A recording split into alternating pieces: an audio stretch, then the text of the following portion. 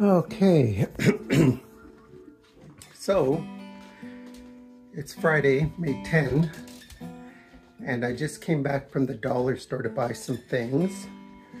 But to begin with, Ate upstairs bought paint and the stir stick and some some uh, all-purpose uh, sanding sponge. So I bought a paintbrush and a little paint container to put the paint, this paint into this, and I'll use this. And you might ask, what are you, what on earth are you going to be painting? Well, I'm painting the doors.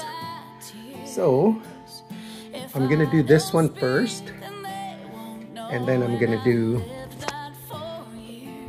my bedroom door. And then I'm gonna do that door behind the towel, because that's a door, into the living room. And this door. So I'm gonna paint this door. It needs painting. It's kind of a really yellow paint. It's so old. Same with that door and that door. So this new paint will get it to match this color here. So I'm gonna do this one first as it's the easiest one, but I gotta wipe it down, let it dry, then I'm gonna sand it. So let's get going, people. And that is wrong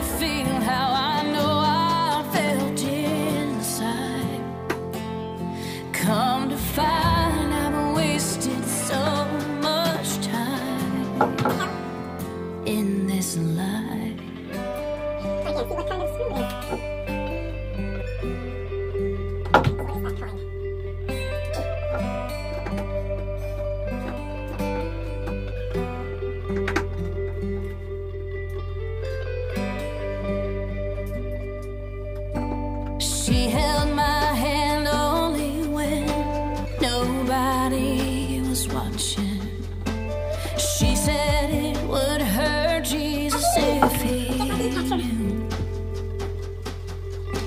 She said this can't be real, this dark and sinful thing. I cannot love